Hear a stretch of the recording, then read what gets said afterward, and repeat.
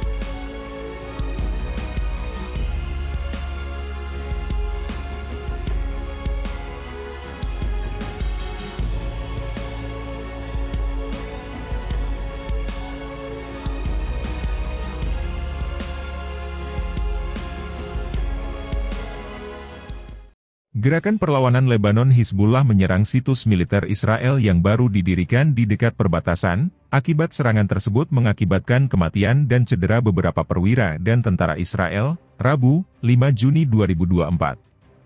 Hizbullah menyerang kumpulan tentara Israel itu dengan drone. Drone tersebut menyerang tenda barak yang digunakan oleh pasukan pendudukan Israel, menewaskan sedikitnya dua orang dan melukai 20 lainnya. Menurut unit media militer Hizbullah, Angkatan Udara tak berawak Hizbullah meluncurkan segerombolan drone bunuh diri ke lokasi militer Israel yang terletak di Elkos, sebelah utara Hurves. Hizbullah menyatakan, serangan itu sebagai pembalasan atas serangan Israel di kota Al-Nakoura di Lebanon pada Selasa, 4 Juni 2024. Insiden itu menandai serangan balasan kelima yang dilakukan Hizbullah sebagai respons terhadap serangan terhadap Al-Nakoura sejak 31 Mei 2024. Media Israel melaporkan, serangan tersebut termasuk peluncuran rudal anti-tank, diikuti setidaknya satu drone bunuh diri yang menargetkan lokasi di Hurves, hanya beberapa ratus meter dari Elkos, mengutip Palestine Chronicle. Situs ini sebelumnya merupakan lapangan sepak bola, yang baru-baru ini diambil alih oleh militer Israel. Hizbullah telah mengintensifkan serangannya terhadap situs-situs Israel yang baru didirikan. Operasi terbaru ini diumumkan oleh Hizbullah di tengah kunjungan para pejabat tinggi Israel ke wilayah pendudukan utara, di mana mereka mengeluarkan ancaman perang terhadap Lebanon. Kunjungan-kunjungan ini termasuk Perdana Menteri, PM, Israel Benyamin Netanyahu, Menteri Keamanan Yoav Galan, Kepala Staf Herzi Halevi, anggota Kabinet Perang Benny Gantz, dan Menteri Kepolisian Itamar Ben-Gvir. Semuanya menyampaikan ancaman terhadap Lebanon dan Hizbullah. Hizbullah siap perang habis-habisan lawan Zionis Israel. Hizbullah mengatakan siap perang habis-habisan melawan Zionis Israel. Hal itu dikatakan Naim Kasem, Wakil Sekretaris Jenderal Hizbullah Lebanon, Selasa, 4 Juni 2024. Keputusan kami bukan untuk memperluas perang, namun kami akan melawannya jika hal itu dipaksakan kepada kami, kata Kasem.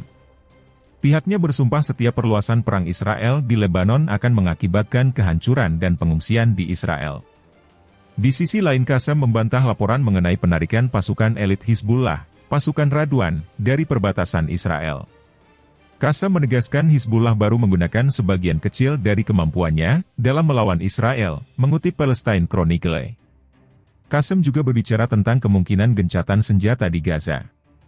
Tawaran Biden untuk ketenangan di Gaza tidak memiliki objektivitas dan merupakan bagian dari proposisi internal pemilu Amerika Serikat, AS, katanya, mengacu pada proposal yang digariskan oleh Presiden AS Joe Biden pada Jumat lalu.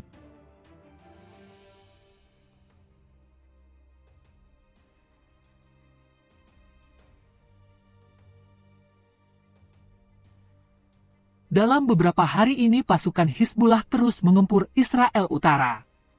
Wakil pimpinan Hizbullah, Sheikh Naim Qassem menyatakan bahwa pihaknya tidak akan membiarkan Israel meraih kemenangan apa pun.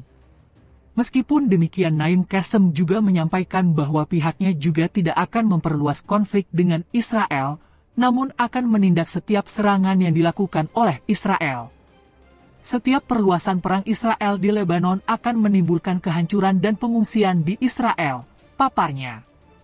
Jika Israel ingin berperang habis-habisan, kami siap melakukannya, tegasnya. Hizbullah yang bersekutu dengan Iran setelah jual beli serangan dengan Israel dalam beberapa bulan terakhir, bahkan Hizbullah bumi hanguskan Israel Utara beberapa hari terakhir.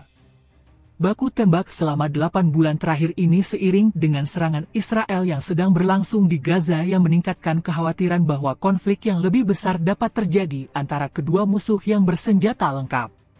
Sejak beberapa hari lalu, Hizbullah terus melancarkan serangan ke Israel Utara yang membakar hutan di wilayah permukiman. Warga Israel yang tinggal di wilayah tersebut harus mengungsi karena api terus meluas dan membakar rumah yang ada. Gerakan Perlawanan Lebanon mengatakan pada hari Selasa 4 Juni bahwa operasi tersebut dilakukan untuk mendukung rakyat Palestina di jalur Gaza dan pejuang perlawanan mereka yang berani. Dikatakan bahwa pos militer Ramin menjadi sasaran roket, sementara posisi Israel terkena serangan pesawat tak berawak di dataran tinggi Golan yang diduduki. Serangan rudal juga menargetkan pertemuan pasukan militer Israel di wilayah utara Palestina yang diduduki. Permukiman Israel di Bar Am di wilayah pendudukan utara adalah target lain serangan Hizbullah pada hari Selasa. Dalam serangan ini diinformasikan bahwa sebanyak 17 tentara Israel terluka dalam operasi perlawanan selama 24 jam terakhir. Selain itu sebuah tank Merkava hancur dan sebuah helikopter Israel juga menjadi sasaran roket di jalur Gaza. Sedangkan pemerintah Israel menatakan bahwa pihaknya akan meningkatkan kekuatan militernya di wilayah Israel Utara dalam menghadapi serangan Hizbullah.